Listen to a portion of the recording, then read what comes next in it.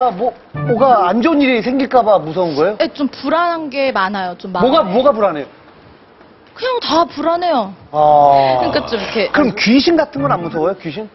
그러니까 귀신도 무서워해요. 근데 이제 저는 이렇게 머리를 제가 애기 보다 보면 막 흥, 헝클어지고 이러잖아요. 그럼 설거지 하다가 이렇게 자꾸 이렇게 뒤를 이렇게 잘 돌아봐요. 무서워서. 근데 이렇게 머리가 헝클어졌는데 이렇게 돌아보다가 머리카락이 보였는데 그게 저는 귀신같이 누가 옆에 있었던 걸로 느껴져요. 본인 머리 같고 응.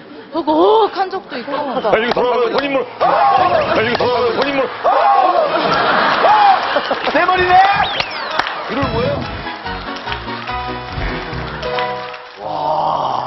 아, 불안정의 수준인데요. 예, 어, 그렇죠. 근데 제가 볼 때는 아주 고도의 전략일 수도 있어요. 혹시 일부러 그런 거 아니에요? 예전에 일부러 그런 식으로 약간 좀. 아 근데 원래 겁이 어렸을 때부터 뭐 많았어요. 원래 겁이 많아요. 원래. 음, 그 혼자 있을 때는 어떻게 해요? 밖에 돌아다닐 때는 이렇게 사람들이 이렇게 주머니 아저씨들 왜 이렇게 손 막 이렇게 넣고 다니시고 그럼 혹시 주머니에서 뭐 꺼내지 않을까 싶은 생각도 야, 조금씩 흉기 같은 거. 들게 하니까 세상이 너무 흉흉하다 보니까 그런 생각을 많이 해요. 그래서 저도 들고 다녀요. 저도 들고 다녀요. 어? 그러니까 이렇게 누가 나한테 해코지 하면 안 되니까. 뭐, 뭐, 뭐, 뭘, 뭘 들고 다녀? 뭐 이렇게 커터칼이나 그런 거는 얼마나 칼, 같- 칼을. 원래 커터칼 이렇게 하면 여기 떡 부러지면 딱 부러져요.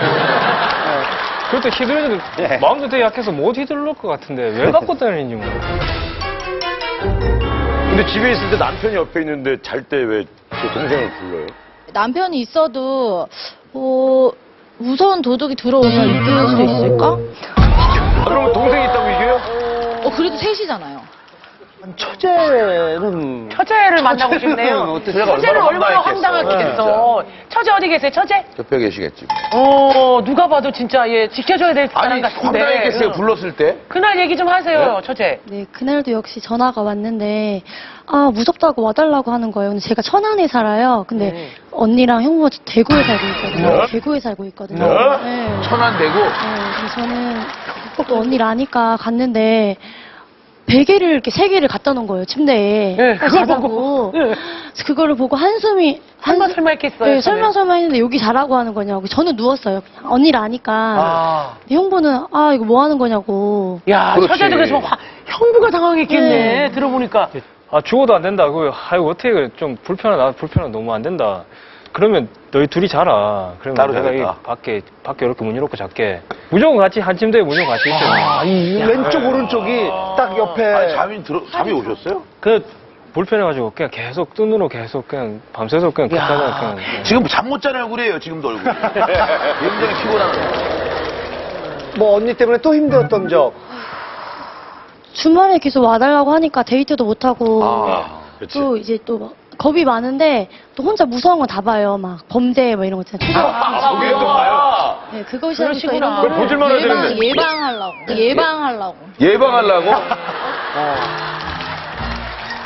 무서운 것 중에 뭐가 제일 무서워요?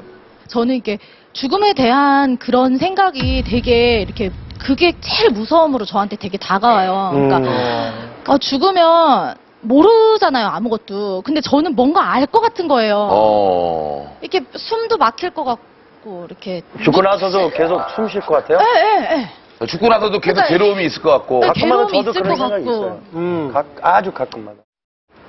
아내가 죽음에 대해서 저렇게 좀 진지하게 생각하고 또 두려워하고 있다라는 거 알고 있었어요? 알고 있었죠. 알고 있었는데 음.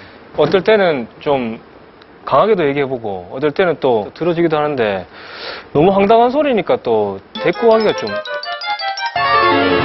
뭐 예전에 트라우마라고 그러죠. 뭐 정신적 외상, 충격? 어, 아주 그 안 좋았던 기억 같은 게 있어요? 그러니까 이게 제가 이제 여기 신랑이 이제 고민이라고 하고 나왔고 저도 이제 힐링을 받으러 나왔으니까 저도 이제 이렇게 좀 어렵게 말씀을 드리는 건데 이제 제가 엄마가 이제 중3 때 이렇게 일찍 돌아가셨는데 어.